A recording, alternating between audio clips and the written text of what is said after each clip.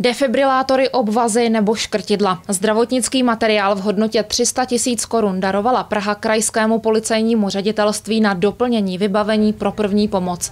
Policisté ho totiž koncem loňského roku spotřebovali během masové střelby na Filozofické fakultě Univerzity Karlovy. Jak vidíte, jsou to speciální zdravotnické pomůcky, které jsou vlastně nezbytně nutné u toho prvního zákroku, ať už je to přesně tragická událost na Filozofické fakultě, ale třeba i taková dopravní nehoda nebo pád z výšky. Proto jsme plně připravili ty speciální batohy, protože ne každý občan ví, že vlastně dokavať oni nezabezpečí to místo, tak tam vlastně nikdo, nikdo nemůže. A to ani záchranáři. I oni totiž při konfliktních situacích musí se zásahem vyčkat, dokud případ nedostanou pod kontrolu policisté. Ti jsou tak často těmi prvními, kdo přichází do kontaktu se zraněnými. Dokud situace není bezpečná, tak záchranáři zůstávají na místě, dokud situaci za bezpečnou neprohlásí policie. Ochrana našich posádek je absolutní prioritou a skutečně nejsme represivní složkou určenou pro to, abychom řešili konfliktní situace. Hlavní město tak chce vybavení policie doplnit a současně také rozšířit o další specifický zdravotnický materiál,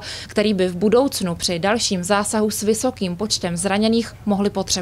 Když jsme ještě neměli vybavení takové, jako máme teďka, tak jsme hledali, jakým stylem pomoci, jak zaškrtit, co na to použít. A praxe nám ukázala, co všechno k tomu potřebujeme a tím pádem dneska jsme už na top úrovni, kdy ti policisté mají ve vozidlech takové speciální batohy, kde už oni sami si nadiktovali i ze spolupráci se záchrankou, co potřebují. Jsou tam tři základní atributy. První je turniket, samozřejmě na zastavení masivního krvácení.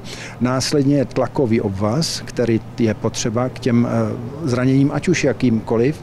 A pak jsou transportní prostředky, aby k nám rychle toho pacienta dostali do zóny, v které již my můžeme zasahovat. Kristýna Svobodová, Televize Praha.